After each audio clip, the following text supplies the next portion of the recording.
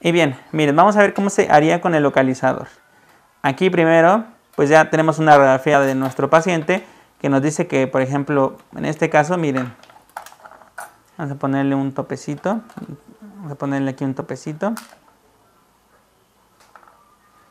a nuestra lima y nos vamos a colocar el anillo en el dedo, en el dedo meñique, para que no esté estorbando.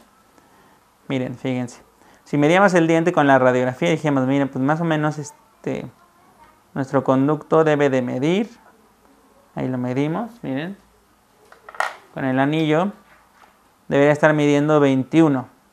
Entonces obviamente no puede medir 25, porque si midiera 25 estaría hasta como por acá.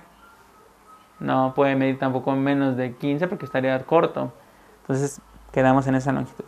Bueno, ya tenemos eh, nuestra prueba de radiografía. Luego vamos con el localizador. Lo metemos. En el caso del localizador, pues lo vamos a sacar. Allá salimos en el otro conducto. Aquí se alcanza a ver esta puntita.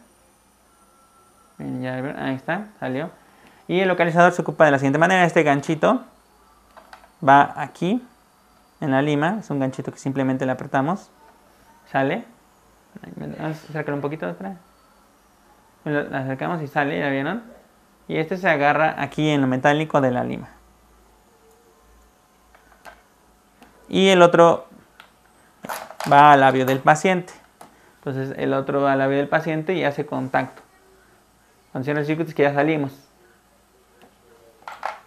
Muy bien, eso fue el localizador.